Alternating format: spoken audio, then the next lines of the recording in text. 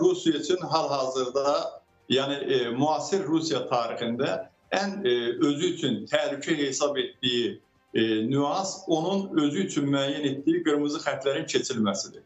Məhz sizin də söylədiyiniz kimi e, Ermənistan parlamentinin sədrinin e, İspaniyada Avropa e, deməli ittifaqı ölkələrinin parlamentlərinin e, toplantısında Rusiyanın işğalçı adlandırması, ümumiyyətlə Rusiyanın Ukraynada, Moldovada, Gürcüstanda və digər e, deməli coğrafiyalarda apardığı e, işğalçı hərəkətləri məhz Rusiyanın özünə nəinki qeyri-dost, Rusiyanın özü üçün düşmən hesab etdiyi ölkələrin e, parlament rəhbərlərinin, parlamentarlərinin qarşısında çıxış etməsi əslində Rusiyanın qırmızı xəttinin keçilməsi idi. Onu da nəzərinizə çatdırım ki, bu əslində birinci hal deyil. Təxminən bir ay bundan öncə demək e, Simonyan Ermənistanın ictimai televiziyasına müsahibə verərkən Rusiyanı satqın adlandırmışdı. O bildirdi ki, 2-ci Qarabağ müharibəsində e, Ermənistan özünün böyük qardaşına onu xilas etmək üçün, ona kömək etmək üçün müraciət etdi, lakin böyük qardaş öz kiçik qardaşını satdı. E, son bir ayda Simonyanın artıq bu ikinci e, deməli bu cür e, Rusiyaya qarşı kəskin ittiham e, edici çıxışıdır. E, və bu sözsüz ki, e, deməli e, cavabsız qalmayacaq və o cavabsız qalmamasının əsas amillərindən biri bu gün e, Ümumilli Erməni Cəbhəsi partiyasının e, itaətsizlik aksiyasına başlaması məsələsidir. Bundan başqa bilirsiniz ki, kilsə erməni kilsəsi e, Rusiyanın, bilavasitə Rusiyanın nəzarəti altındadır və e, Paşinyanın hakimiyyəti dönəmində və yaxud Paşinyanın hakimiyyətinin ilk günlərindən Paşinyana qarşı kifayət qədər aqressiv mövqeydədir. Paşinyan hökumətinin devrilməsi üçün kilsə bütün hallarda e, deməli əməli işlər aparırlar. Mən düşünürəm ki, e, hal-hazırki durum, yəni e, Rusiya tərəfinin Ermənistana yönəlik bu durumunun bu vaxta qədər dözülməsinə səbəb və yaxud bu vaxta qədər səbr olunmasına səbəb e, demək Ermənistanın Rusiya tətbiq olunmuş sanksiyalar var ki, kifayət qədər böyük e, deməli sayda sanksiyalardır. Bu 20 min civarında olan sanksiyadır.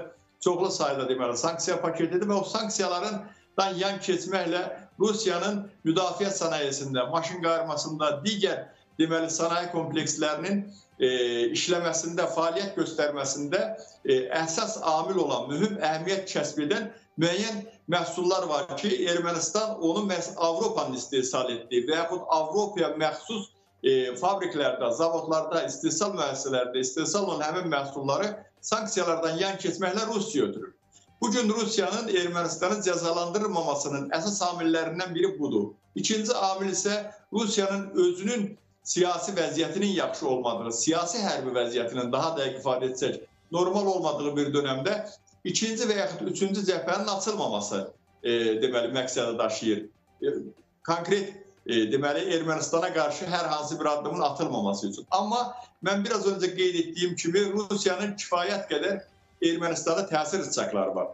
Həm e, deməli e, Qarabağ qatilləri olan eks-prezidentlər, Rusiya e, Ermənistan eks-prezidentləri onlara yaxın olan qüvvələr, eyni zamanda e, xarici e, deməli təşkilatların xüsusi xidmət orqanlarının daha doğrusu nəzarətində olan erməni diaspor e, deməli təşkilatları var ki, o təşkilatlara e, tabe olan o təşkilatlardan maddi mənəvi cəhətdən e, demək e, yardımlar alan, kömək alan bəzi qüvvələr var, amma onu da qeyd edim ki, hal-hazırki durum e, deməli e, Ermənistan baş nazirinin e, hakimiyyətdən getməsi üçün hələ ki təhlükə hesab olunmur. Çünki kütləvi ictimai müqavimət yoxdur. Bilirsiniz ki, 2-ci Qarabağ müharibəsindən sonra qısa müddətli bir antiterror tədbirləri keçirildi və erməni e, millətinə xas olan e, şəxslər Xankəndi və onun ətraf rayonlarından öz istəkləri ilə e, deməli e, Ermənistana e, getdilər.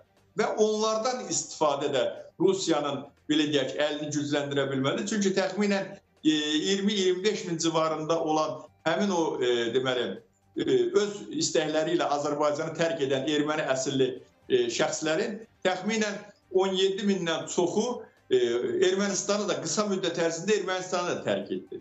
O baxımdan bugün üçün hələ ki Ermənistan baş naziri üçün, Ermənistan hökuməti üçün eyni zamanda e, əsasən deməli onun dilindən səslənir e, Rusiyaya qarşı, yəni Simonyan üçün hələ ki bir təhlükə gözlənilir. Amma dediyim kimi bugün e, saat 16:00-dan başlanan e, Ümummilli Erməni Cəbhəsi Partiyasının başladığı aksiyada heç də bu məsələnin e, Ermənistan e, hökuməti üçün e, asan olmayacağının göstəricisidir.